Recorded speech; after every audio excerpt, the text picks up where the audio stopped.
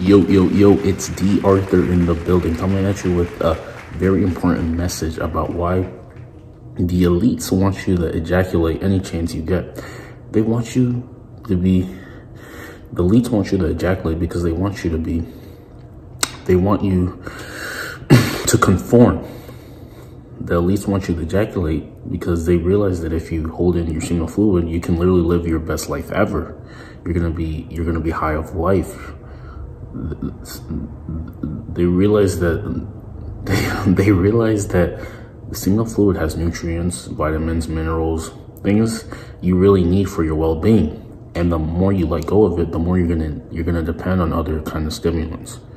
Maybe you're gonna depend on prescription drugs. You're gonna depend on other medications for you. You can the, the body can naturally heal itself that's what the body was really made to do.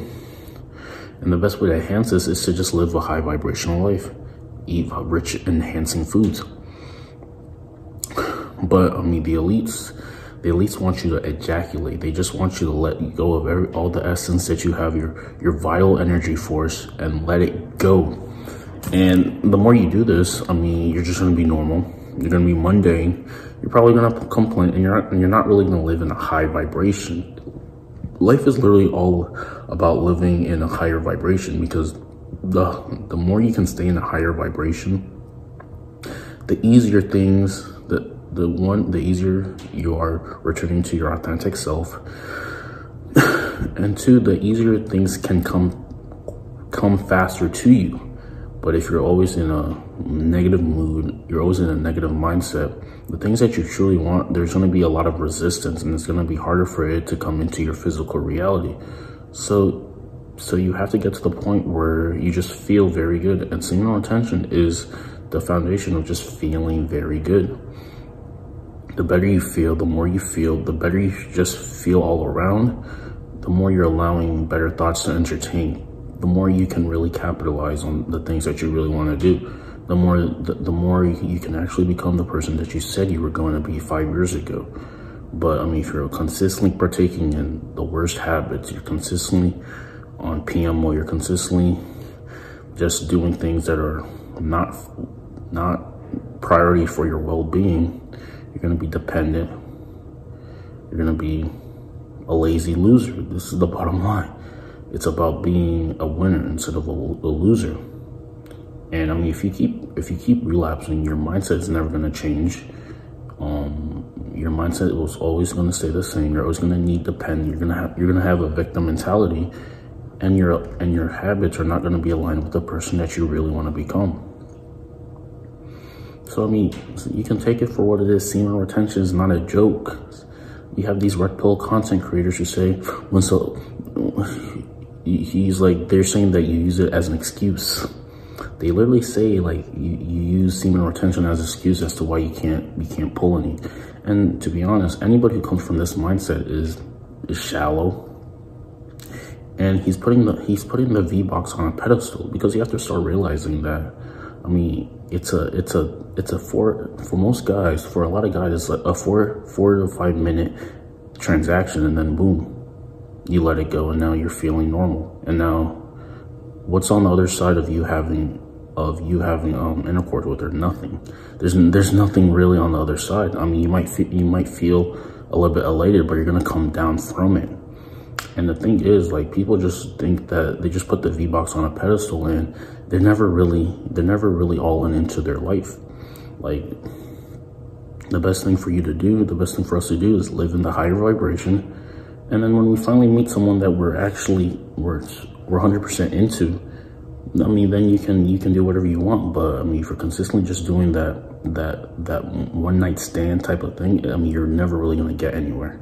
You're truly never really gonna get anywhere because th that's not what the the body was made for. The, every time you you you you do um you become that vulnerable around multiple people it just it's not going to work out as much you have to start developing relationships the point is developing relationships. How, how good is your communication skills so you can actually develop relationships? The elites want you to ejaculate every, every chance you get. because because then you can't raise your consciousness then you can't raise your vibration then you can't raise your belief system um, then you're gonna have to depend on on other things to make you feel whole so i mean the best thing to do is do what the do the opposite of what the elites want you to do.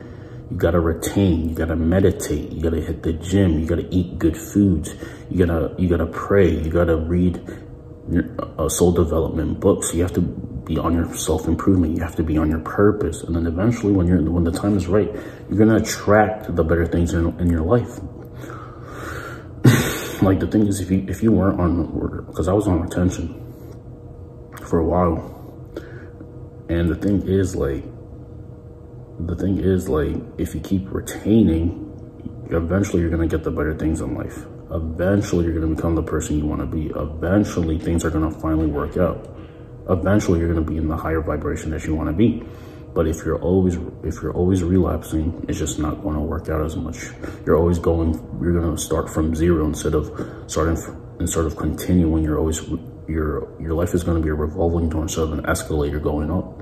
So i mean you make the decision. You either retain you get the gains you get the life that you actually want or you keep relapsing and you, you keep going back to normal. You keep overthinking.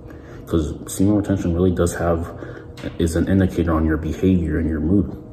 The more you retain, the more you retain, the better, the more actions you're going to take, the, the more of an action taker you're going to become. But if you keep relapsing, your behaviors are going to change. You want to stay in. You're not going to express yourself. You're not going to be, you're not going to be the person that you really want to be.